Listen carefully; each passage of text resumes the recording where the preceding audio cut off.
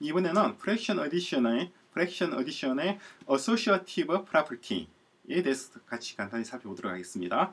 5분의 3 더하기 7분의 4 더하기 5분의 2인데 가로가 지금 7분의 4와 5분의 2를 둘러싸고 있죠. 그죠? 그럼 이걸 먼저 바꿔주고 하려면 어떻게 되나요?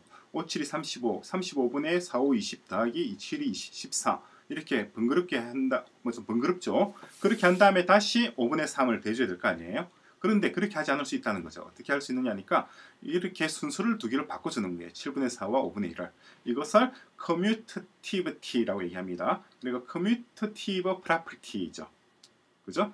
바꿔줄 수가 있고 그런 다음에 그런 다음에 괄호의 위치를 바꿔줄 수가 있어요. 괄호가 지금 여기 있는데 이걸 옮겨오는 거예요.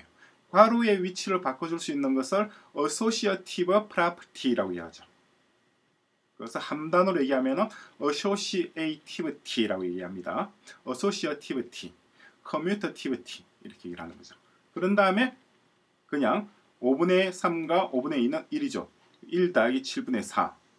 1과 7분의 4가 되겠죠. 어디션이죠. 더하기. 그죠? 그렇게 해서 어, 훨씬 더 간단하게 처리를 할 수가 있습니다. 더하기가 가지고 있는 두 가지 속성, commutative property와 associative property를 이용해서 보다 더 합리적이고 편리하고 간단하게 계산을 진행할 수 있는 거죠. 이것을 associative property for fraction addition이라고 합니다.